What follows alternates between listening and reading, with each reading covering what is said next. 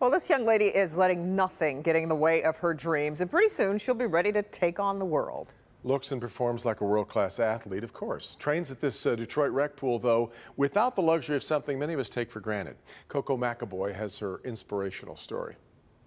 Anquanice Wheeler started swimming when she was nine years old, and she would practice inside of this facility on Detroit's west side.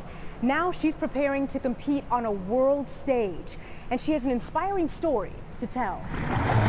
With every swim stroke, Anquanice Wheeler is fulfilling her dreams. And I actually love the sport because you have to love the sport, not just like it. She's breaking records. She's on 4 minutes and 24 seconds, so she's doing very good. While knocking down barriers and all naysayers. I'm black, I'm a woman, and I can't hear. And being able to swim, that made me like, I can really prove them wrong. And she is.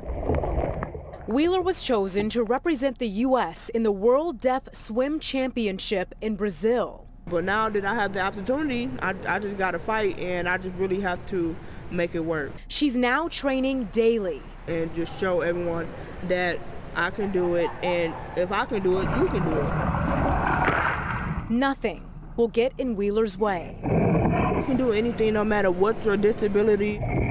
As she swims her way to the top. and she's very impressive, but she needs your help. She's currently raising money on a crowdfunding website so that she has enough money to be able to compete in Brazil. And if you'd like to help her, we'll have a link on our website, clickondetroit.com. Back to you. All right, quite